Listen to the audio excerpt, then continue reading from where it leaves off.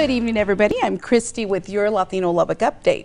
The third annual Veterans Day Parade is going to be held this week, and joining us to tell us more is our co-chair, Mr. Benny Guerrero of Los Hermanos Familia, and he's the commander of the VFW. It's a mouthful. Oh, yeah, it is. Uh, hi. I know you do a lot, mm. but first of all, is it too late for folks to sign up for the Veterans Day no, Parade? it's never too late. Never, never too, too late, right? No, I think uh, I think we've been talking off mm -hmm. off air. Uh, it's we're always the last minute, but no, it, you go and sign up.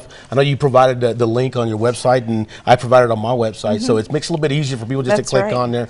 Uh, if you have any questions, by all means, uh, have them, you can text me or give me a call or email me. We'll figure it out. Well, who should participate in this event? Well, I think every veteran should participate. You shouldn't just sit on the sidelines. You should actually exactly. be to be honored and let the, let the city and the community come out and, and thank you for your service and, and honor and see who the veterans are, you know. But we also were looking for marching bands. We are looking for student organizations. Yes. Anybody. Yeah, anybody. Anybody that advocates what veterans have done. Yeah, most definitely. I think uh, it's important when a community comes together to, to do this. That's right. We're still looking for a marching band, right? Yeah, we're still looking for a marching band. I could be that. I'm telling you, me and Marley can knock it out.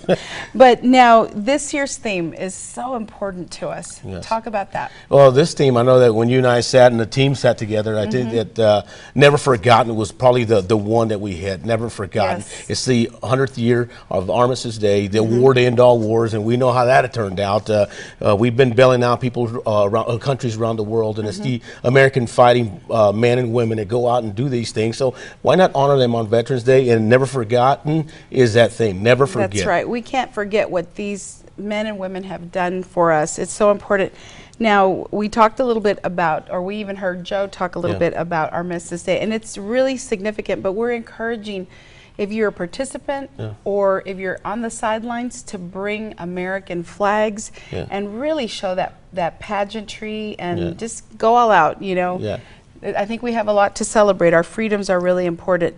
Now, the other thing is the route we start at. We start at the at the uh, parking lot of First Baptist Church on Broadway and mm -hmm. Avenue UV. Historic Broadway. You know, it is. I'm telling you. Uh, funny. I, I, offline, you and I need to share a story. but yeah, and then once we get there, we're going to start on Broadway mm -hmm. and head uh, east on Broadway uh, at a slow pace. Mm -hmm. And uh, some of our elders will be walking, some of our veterans will be on, on, the floats, but all the way to Avenue M. And Avenue M, uh, we're making a left into the Civic Center and, you know, giving each other high fives. Gathering. That's right. Yeah. We take a lot of pictures. Yeah. It does start at 10 a.m. sharp. And of course, the weather is going to be beautiful. We're already yeah. seeing that it's going to be gorgeous. And look at what we are expecting 41 degrees.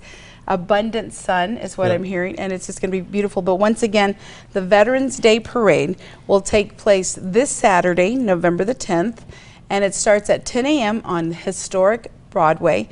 You have to be there if you are interested in participating. LosHermanosFamilia.org forward slash veteran dash s dash day dot parade. And then, of course, you can find more details in this month's issue of Latino Lubbock Magazine on stands now and honoring our veterans.